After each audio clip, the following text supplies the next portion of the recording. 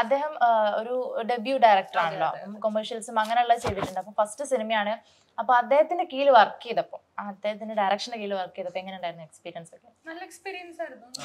First movie എന്നുള്ള ഒരു ഇതൊന്നും ഉണ്ടായില്ല. പക്ഷെ നമ്മളെല്ലാരും കമ്പനി ആയിരുന്നു. ഒരു അങ്ങനെ ഒരു ടെൻഷൻസോ ഒന്നും നമ്മളെല്ലാരും ഒരു കുടുംബം പോലെ പോയി കുറച്ച് താമസിച്ച് ഒരു സിനിമ എടുത്ത് എവിടെയായിരുന്നു ഷൂട്ടിംഗ് ഒക്കെ? ട്രിവാൻഡ്രത്ത് C T college C T college നല്ല ഗംഭീരമായിട്ടുള്ള ക്യാമ്പസാണ് അവിടുത്തെ മാനേജ്മെന്റ് നല്ല മാനേജ്മെന്റ് ആണ്. ഇനി പറ്റുവാണെങ്കിൽ ഇനിയൊരു സിനിമയും അവിടെ പോയി ചെയ്യാൻ ആഗ്രഹമുണ്ട്. അല്ലേ. ആഗ്രഹമില്ലേ? ചെന്നൈയിലല്ലേ പഠിച്ചത്?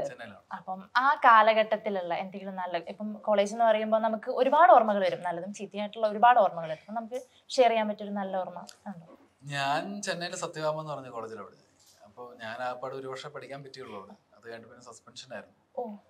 അപ്പോ ഞാൻ ആദ്യമായിട്ടാണ് ആ സമയത്താണ് കോളേജിൽ ഞാൻ അല്പം പ്രശ്നക്കാരനായിരുന്നു. കോളേജ് കുറച്ച് പ്രശ്നമുള്ള കാരണം ഞാൻ കുറച്ച് പ്രശ്നക്കാരനായിപ്പോയി. പോയി വേണേ പറയാം. കോളേജിന് മറ്റേ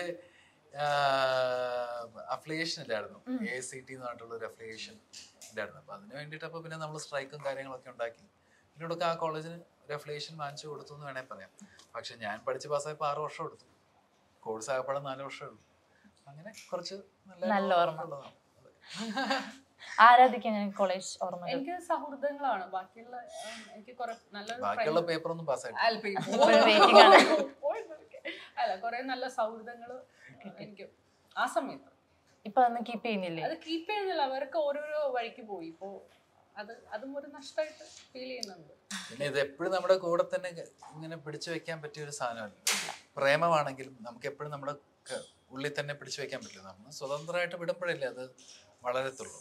അപ്പം അങ്ങനെ ഫ്രണ്ട്സും അങ്ങനെ തന്നെയാണ്. ചിലർ വളർന്ന് വേറെ അവരുടെ അവരുടെ ജീവിതത്തിൽ ഇരിക്കുന്നു. നമ്മൾ ചില സമയത്ത് കണക്ട് ആവുന്ന സമയത്ത് നമ്മൾ തിരിച്ചും ബാക്ക് ടു ആ ഒരു സ്ഥല സ്ഥലത്തിലോട്ട് വരും. അപ്പോൾ അങ്ങനെ അങ്ങനെയാണ്. അപ്പം ആൻസന്റെ കരിയർ എടുത്ത് നോക്കുകയാണെങ്കിൽ ഒരുപാട് സിനിമകൾ ചെയ്തു. അബ്രഹാമിന്റെ സന്തതികളിൽ ഒരു ഭയങ്കര ഒരു ഹൈപ്പ് കിട്ടിയായിരുന്നു. അതിനുശേഷം പിന്നെ അത്രയും ഹൈപ്പ് ഉള്ള ഒരു സിനിമ എടുക്കാൻ ഒരു ഗ്യാപ്പ് വന്നു. അതെന്തുകൊണ്ട് അങ്ങനെ ഗ്യാപ്പ് ഇന്റൻഷനലി എടുത്തതാണോ? അതോ?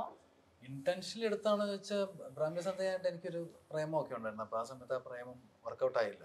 പിന്നെ ഞാൻ കുറച്ച് ട്രാവലൊക്കെ ചെയ്തു. ഒരു ഒമ്പത് മാസക്കാലം ട്രാവലിങ്ങിലായിരുന്നു ട്രാവൽ ചെയ്ത് കഴിഞ്ഞ് പിന്നെ തിരിച്ചു വന്നപ്പോഴേക്കും പിന്നെ കോവിഡും കാര്യങ്ങളൊക്കെ ആയി. പിന്നെ സിനിമകൾ അധികം നടന്നില്ല.